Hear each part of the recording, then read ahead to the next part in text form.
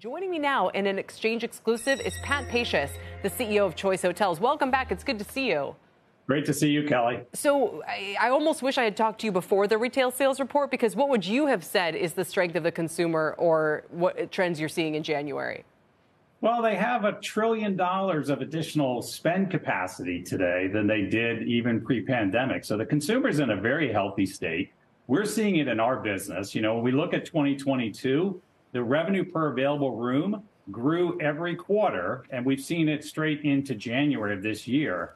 The consumer is prioritizing travel at the top of their list. They're out and they're traveling. They're also traveling at different months of the year. Our fourth quarter numbers were exceptionally strong, huh. up 20% in RevPAR, and they're traveling at different days of the week. So we saw occupancy gains for every single day of the week, particularly on the shadow or shoulder days, rather, of uh, the weekend. So that's both Thursday night and Sunday night. We saw 4% increase in occupancy when you compare it to our pre-pandemic levels. So we're really seeing the consumer out and traveling, and they're in a very healthy state today. So this is, yeah, I figured it out. I figured this, this is the mystery. We've solved it because in November and December, we had unusually weak spending on kind of goods and retail sales and, and holiday. And you're now telling me you had unusually strong demand in that period. Is that right? That's right. And historically, before the pandemic, the fourth quarter and the, and the first quarter of the year were generally lighter on leisure travel, more heavy on business travel. We saw gains in both segments. The consumer leisure travel demand segment, that entire pie is getting bigger. It's getting bigger because people have more money to spend with rising wages. We have more folks who can work, work remotely. We have retirements occurring at sort of significant rates higher than we were pre pandemic.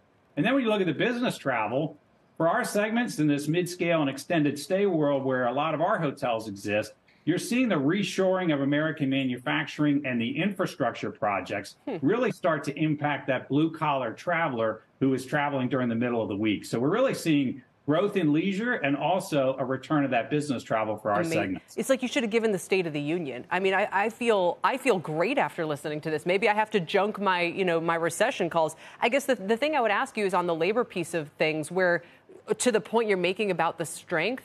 Is that a, a profit margin risk? You know, is that unsustainable? And, and how is that affecting business? Well, I think when you look at labor in the hotel sector, we are still behind. We were behind. We had a number of open jobs even before the pandemic hit. Uh, we did see a lot of labor come back into our into our segment uh, this past year. Um, when you look at our hotels in particular, we are primarily limited service hotels. So we don't have a lot of, um, you know, big restaurants and meeting space and amenities. And so from a labor perspective, limited service hotels have been able to hold up fairly well in a, in a market where, where labor is more challenged. That being said, our housekeepers, our front desk folks have gotten a raise, as have most of sort of the middle class and and uh, and that segment of workers. So those are the folks who actually travel in our hotels as well. So it's good to see that they're getting a pay raise. Yeah, I hear Bill Smead, if he's still watching, going, "See, I told you." He, we got to ask him why he doesn't uh, invest in choice hotels. It's totally part of his thesis.